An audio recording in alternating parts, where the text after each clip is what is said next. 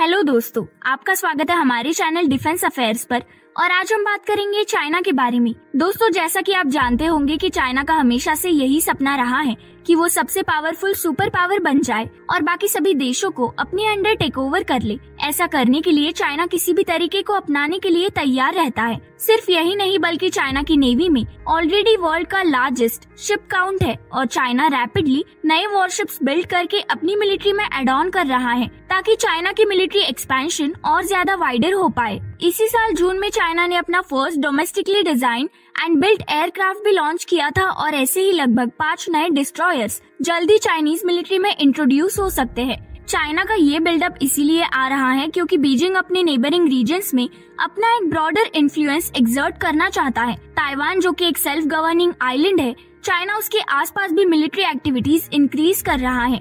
और south China सी में अपने टेरिटोरियल क्लेम्स को और स्ट्रॉन्ग करने के लिए चाइना आर्टिफिशियल आइलैंड भी बिल्ड करना चाह रहा है। चाइना की इसी कोशिश को यूएस और यूएस की अलाइज ने चैलेंज भी किया है।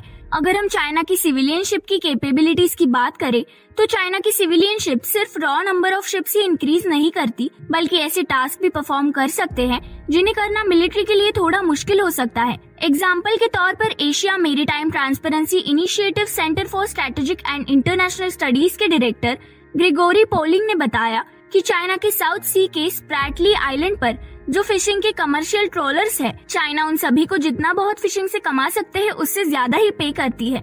ऐसा करके इन रिटर्न चाइना उन सभी ट्रोलर्स से चाइना के बीजिंग पर डिस्प्यूटेड आइलैंड के बनने के क्लेम को सपोर्ट करने के लिए कहती है। इसी के साथ ग्रिगोरी पोलिंग ने ये भी बताया कि किसी कॉन्फ्लिक्ट के इवेंट में चाइना के सिविलियन वेसल्स के यूज़ की वजह से रूल्स ऑफ़ एंगेजमेंट कॉम्प्लिकेट हो जाएँगे। अपनी बात को कंटिन्यू करते हुए पोलिंग ने कहा कि हर एक चाइनीज़ फिशिंग बोट को कोई नेशन एक आर्म कॉम्बैट की तरह ट्रीट नहीं करना चाहेगा।